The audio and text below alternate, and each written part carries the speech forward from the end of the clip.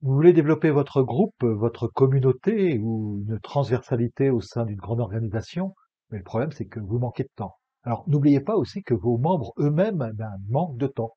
Et bien que l'enjeu finalement, eh bien, c'est comment animer des gens qui n'ont pas le temps avec des gens qui n'ont pas le temps. Je suis Jean-Michel Cornu, spécialiste de la coopération et de l'intelligence collective, et aujourd'hui on va voir comment échanger avec des personnes qui n'ont pas le temps. Alors finalement, ben, vu du côté de vos membres, votre groupe, c'est un des groupes. Il y a une compétition entre les groupes. D'ailleurs, si vous regardez bien, vous faites probablement partie d'une dizaine, peut-être même d'une vingtaine d'autres groupes, parce que vous avez des groupes professionnels, peut-être plusieurs, votre, votre équipe de travail, et puis d'autres groupes à l'intérieur de votre organisation. Vous avez des groupes familiaux, des groupes amicaux, des groupes associatifs, euh, sportifs, les réseaux sociaux aussi également, donc plein de groupes auxquels on participe. Et en plus, eh bien, certains de ces groupes sont prioritaires.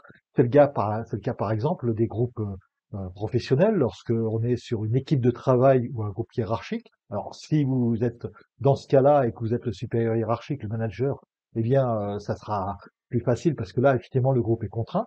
Ça peut être la famille, par contre, qui va passer en priorité, ce qui est assez bien normal, ou alors, eh bien, un engagement très militant. Alors, si vous êtes vraiment dans une organisation très militante, peut-être qu'un certain nombre des personnes, effectivement, passeront votre organisation en priorité, mais votre groupe, eh bien, peut être bien différent.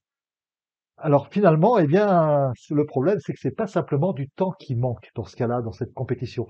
C'est du temps de cerveau disponible. Vous savez, c'est cette phrase de, de, de Lelay, qui était patron de TF1 à l'époque, et qui disait « Je vends du temps de cerveau disponible à Coca-Cola ». C'était son métier tel qu'il le décrivait.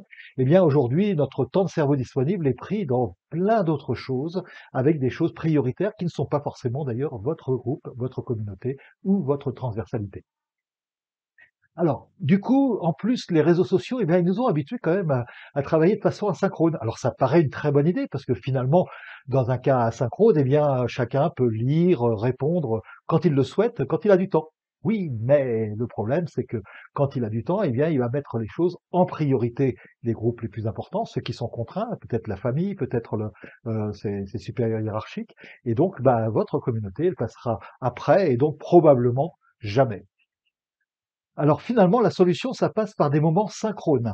C'est-à-dire non plus asynchrones, mais des moments synchrones. Alors ça peut être des rencontres en présentiel, des visios euh, à distance, ça peut être des réunions téléphoniques, ça peut être voire même être des chats synchrones. Et alors dans ce cas-là, eh bien l'avantage c'est que l'on a un temps dédié et puis bon, si on regarde pas ses mails pendant ce temps-là, eh bien on est vraiment on a notre temps de cerveau disponible pour travailler ensemble, pour faire quelque chose ensemble et là effectivement ce temps-là va vraiment permettre de faire les choses. Il y a un même malheureusement, c'est que bah oui, mais c'est pas très facile d'avoir tout le monde disponible au même moment et donc euh, finalement euh, euh, on va pas forcément avoir tout le monde. Alors comment faire? Alors pour ça, eh bien, euh, d'abord, la principale, c'est que pour avoir du temps de cerveau disponible, il n'y a pas à tortiller. Il faut que euh, dans votre groupe, la priorité soit donnée au moment synchrone. Donc vous pouvez faire aussi des petites choses asynchrones si ça vous amuse, mais, mais ça sera bien pour les quelques-uns les plus actifs, mais vous risquez d'oublier tous les autres. Et donc là, on va se focaliser sur les choses synchrones, et pour que ça marche, eh bien, on va associer trois astuces qui vont nous permettre quand même malgré tout de fonctionner de façon synchrone, même avec des gens qui n'ont pas le temps.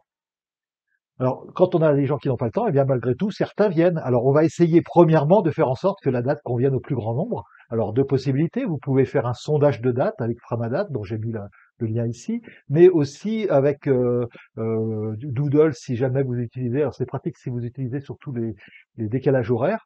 Et puis l'autre solution, eh bien, c'est si vous connaissez bien votre groupe, vous savez que peut-être les gens sont plutôt disponibles entre midi et deux heures, ou alors plutôt le soir, ou plutôt à quelle heure le soir? Est-ce que c'est quand les enfants sont couchés? Est-ce que c'est juste après la journée de travail? Bref, à vous d'essayer de trouver le bon moment. Vous pouvez faire un sondage de date général avant pour essayer de trouver ce, moment-là. Et puis, euh, vous pouvez aussi en faire un à chaque fois, à chaque réunion, ce qui est un petit peu plus lourd. Deuxième chose, eh bien, vous allez organiser des rencontres régulières, parce que ceux qui peuvent pas venir une fois, eh bien, ils, pourront peut-être venir la prochaine fois, tout simplement. Alors pour ça, eh bien, on va essayer de faire de, choisir quand même des moments différents. C'est-à-dire que si euh, certains sont pris tous les, jeudis euh, parce qu'ils ont piscine, eh bien, euh, on va faire en sorte que on va est effectivement de temps en temps jeudi, de temps en temps le mardi. Donc ça veut dire que effectivement vous allez essayer d'avoir quelques moments différents et puis les alterner et vous n'aurez pas tout le monde, mais régulièrement, et eh bien en tout, eh bien vous pourrez faire participer tout le monde euh, ou le plus grand nombre plus exactement euh, dans ces rencontres à condition qu'elles soient régulières. Donc la deuxième astuce, c'est pas des rencontres, mais des rencontres régulières et ça, ça change tout. Alors la bonne périodicité, c'est de pas faire des réunions dans ce cas-là si c'est pas contraint euh, toutes les semaines, parce que là ça va faire trop. Mais en général, une fois par mois, eh bien on arrive à faire des choses très très intéressantes. Et puis ben certains peuvent arriver à venir tous les mois, d'autres arriveront peut-être une fois de temps en temps, mais tout va bien. Et la troisième chose est assez contre-intuitive puisque il va falloir avoir au moins 100 personnes, même des personnes totalement inactives dans votre groupe, pour que vous ayez suffisamment de participants. Alors on en avait parlé dans Tous ceux qui ne font rien sont vos amis, mais euh, effectivement c'est une des choses les plus contre-intuitives que vous avez pu voir dans ces trucs d'animation. À partir d'une centaine de personnes, eh bien vous allez avoir naturellement une dizaine minimum, et puis euh, peut-être 10, 15, 20 personnes de participants, et donc ça va être suffisamment parce que les personnes qui participeront n'auront pas l'impression que c'est toujours les mêmes, parce que euh, effectivement au-delà de 10, on n'arrive plus à compter, on dépasse notre mémoire de travail. Alors je vous renvoie à ce truc d'animation parce qu'il est vraiment très très important, très subtil et c'est lui qui va nous permettre effectivement de faire en sorte que finalement, eh bien, même dans ces rencontres régulières où certains peuvent venir, d'autres ne peuvent pas venir, eh bien, vous ayez suffisamment de personnes pour que la dynamique se mette en place.